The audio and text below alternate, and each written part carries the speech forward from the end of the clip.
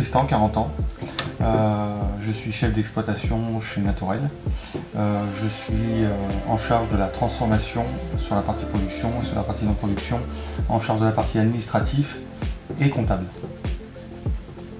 Et moi c'est Aurélie, donc j'ai 39 ans, donc installée avec mon amoureux donc en tant que chef d'exploitation à Naturel. Et pour ma part, c'est plutôt culture et cueillette, donc, et toute la partie marketing, publicité, etc. Donc on est ici euh, chez Natorel, c'est sur la commune de Faux-la-Montagne, dans le sud-ouest de la Creuse, entre le lac de Vassilière et le lac de Faux-la-Montagne. On fait de la culture et transformation de plantes à parfum aromatique et médicinales. Euh, et le but de cette ferme, c'est de maîtriser de la graine au produit fini. On a différents ateliers en fait.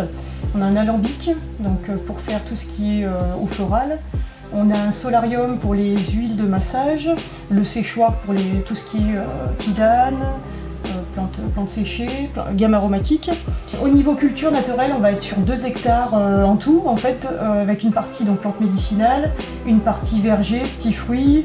On a donc on a démarré une roseraie et sur la partie donc vraiment plantes médicinales, on va avoir à peu près 4000 pieds de, de plantes médicinales qui vont être sur une trentaine entre 30 et 40 euh, références différentes. Mon travail consiste à sublimer euh, le travail d'Aurélie. Euh, et pour ça, je me dois de trouver des produits qui surprendront.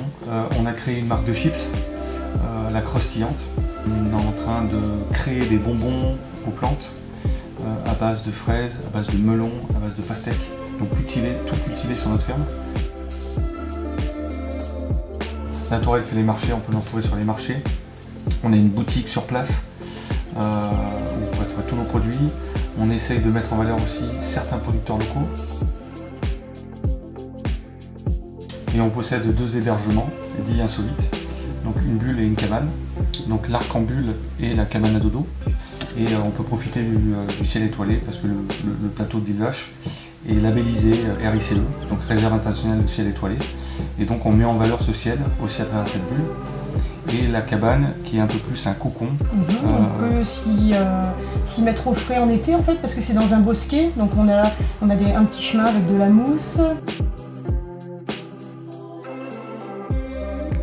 Le but de ces hébergements pour Naturel, c'est aussi de faire découvrir notre univers.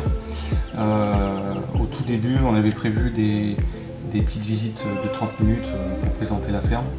Et, et en fait, on. tellement bien que ça dure deux heures.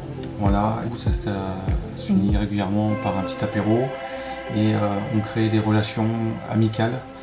Et euh, quand ils repartent le lendemain, on a l'impression que c'est des amis qui repartent. Définir naturel en trois mots, c'est plutôt compliqué parce que naturel, euh, pour moi, c'est. c'est des plantes cultivées avec amour? Et transformées avec passion.